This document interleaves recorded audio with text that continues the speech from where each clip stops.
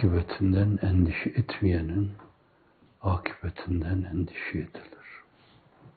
Gerçekten öyle olma cehdi gayreti içinde olma başkadır.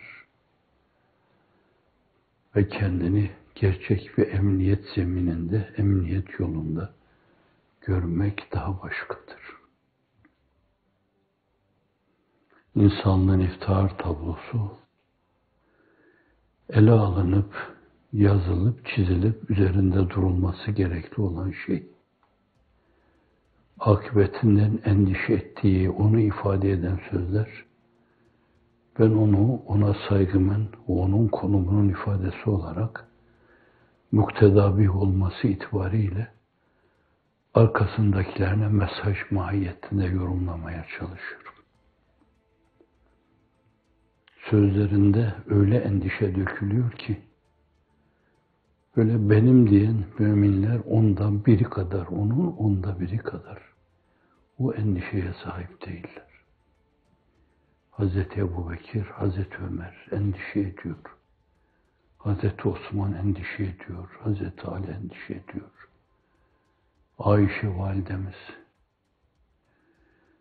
bir nur hanede dünyaya geliyor, teşrif ediyor ve daha kendini henüz idrak etmeden, eder etmez kendini nur dairesi, nur helezonu, nur halesi içinde buluyor.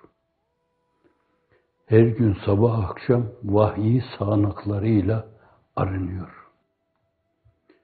Göklerin yere indiği bir evde, bir saadet hücresinde hayatını geçiriyor.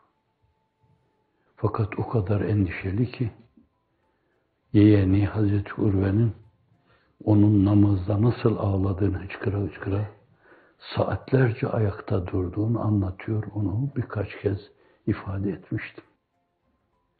Fakat bir keresinde de Efendimiz sallallahu aleyhi ve selleme ehlinizi ahirette hatırlar mısınız diyor.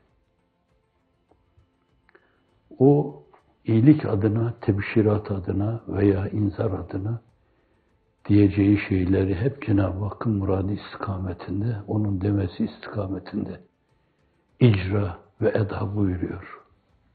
Üç yerde asla diyor. Üç yerde asla. Ayşe-i Sıddık'a ümmet bil icma doğrulardan daha doğru dedikleri mübarek bir anne ve hepimizin anne demekle iftihar duyduğumuz mübarek bir kadın, kadınların sultanı. Kendi ameline, davranışına, saatlerce ayakta durmasına değil. Eşinizi, ehlinizi orada hatırlar mısınız ya Resulallah diyor. Üç yerde asla. Bu kadar endişe duymak lazım. Enaniyetin hüküm ferma olduğu, insanların kendilerini çok emin doğru yolda zannettiği, vehim ve kuruntulara takılıp gittikleri bir dönemde yaşıyoruz. Virüs gibi o bize de bulaşıyor. Hepinize, hepimize de bulaşıyor bir yönüyle. Hiç yarını düşünmüyoruz. Bugünün kulları gibi yaşıyoruz. Bugünün kulları. Bugün saltanatım olsun, devdebem olsun, ihtişamım olsun, filolarım olsun, villalarım olsun. Bir villada İngiltere'de, bir villada Almanya'da, bir villada Fransa'da yapayım. Ne olur ne olmaz şimdi işler dümeninde gidiyor ama bakarsın yine birileri bir terslik çıkarır. Ve bana da bu uçağa binip oraya gitmek düşer en iyisi dünyanın değişik yerlerine çuvallarla para taşımalıyım. Oralarda yatırım yapmalıyım. Bu alternatiflerden tek birisi bile bana yettiği, ölünceye kadar yettiği halde ne olur ne olmaz. Birkaç yerde aynı alternatifi değerlendireyim. Ne olur ne olmaz. Bugünün kulları, bugüne tapanlar, bugünün putperestleri, zehirlenmiş insanlar, hırsla zehirlenmiş insanlar, tuğle emelle zehirlenmiş insanlar, kuvvetle zehirlenmiş insanlar, muvakkat hakimiyetle zehirlenmiş insanlar. Düşünmüyorlar ki bir gün ben ona sahibim dediği şeyler ellerinden uçup gidecek ve açıkta kalacaklar. Kendilerini zehirleyen o şeyler uçup gidecek. Bu defa maşeri vicdan karşısında hicaptan iki büklüm olacaklar. Allah karşısında iki büklüm olmayan, asa gibi bükülmeyen bu insanlar. Bugün güce, kuvvete, imkana, iktidara, arkasından sürüklenen sürülere güvenip kendine göre bir hayat çizgisi belirlemesine mukabil, yani Allah'tan kopmuş olmasına mukabil, o gün nasıl bir tablo meydana gelecek, utanacak arkasındaki insanların yüzüne bakmaya, utanacak. Söndürmek istediği nuru söndürme helecanıyla, hacaletiyle iki büklüm olacak. Ama diyeyim şunu, Kur'an dediği için, katiyen söndürmeye çalıştıkları nuru söndüremeyecekler.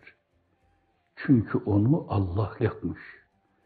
Bir meşale ki, bir şule ki, bir nur ki Allah Celle Celaluhu onu yakmış, parlatmış. Kimsenin haddine değil onu söndürmek.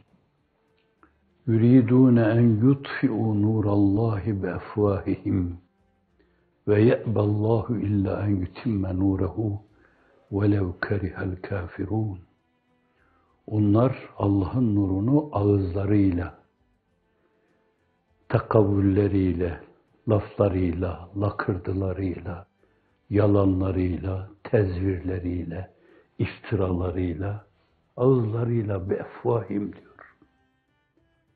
Evet, hainin, fasikin, facirin, zalimin, kaidin, makirin, mütekavvilin, mütekellimin, katibin, naşirin, hepsi o konuya giriyor. Yuridune en yutfi'u nurallahi Allah'ın nurunu. Gökleri ve yeri nurlandıran. Nur kendi ismi şerifi olan münevvirun nur olan musavvirun nur olan Hazreti Allah'ın tutuşturduğu bir meşaleyi söndürmek istiyorlar. Zift akan ağızlarıyla söndürmek istiyorlar. Ve ye'ballahu illa en yutimme nurehu. Allah hayır diyor, iba buyuruyor. Ve nurunu ikmal ve itmam etme meşiyeti subhaniyesini ortaya koyuyor. Ona hayır, onların üflemelerine hayır. Ben onurumu tamamlayacağım diyor. Velev kerihel kafirun. Nankörler. Bir dönemde kendilerine destek olanlara şimdi nankörlük yapanlar. Tutup destekleyip ayağa kaldıranlara nankörlük yapanlar milletin temel değerlerini dünyanın dört bir yanda adeta bayrak gibi dalgalandıranlara karşı nankörlük yapanlar. Velev kerihel kafirun. Kafir, nankör de demektir. Bir şeyi örten demektir. Olup biten şeyleri setreden demektir. Onun için lugat manası itibariyle tohumu toprağa gömene ona da kafir denir. O da tohumu gömüyor. Fakat o mahsurlu bir gömme değil. Bunlar ayan beyan hakikati gördükleri halde ona karşı gözlerini kapıyorlar. Lehum a'yunun la yusirune biha ve lehum a'zanun la yesma'une biha. Gözleri var ama fakat görmüyorlar. Kulakları var ama mesumata karşı kapalı. Duymuyorlar. Öyle olunca da kalp sistemi, ruh sistemi çalışmıyor. Yararlı bir ürün ortaya koyamıyor. Çünkü bu iki kanal çok önemli. Oraya malzeme taşıyor. Biri gökten gelen semavi emirler onları değerlendiriyor. öbürü de tekvini emirler, bakıyor onlara. Eşya ve hadiseler hallac ediyor, değerlendiriyor.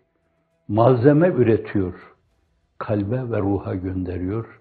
O tezgahlarda onlar işleniyor, marifete dönüşüyor, muhabbete dönüşüyor, aşku şevku, iştiyaku likaullah'a dönüşüyor.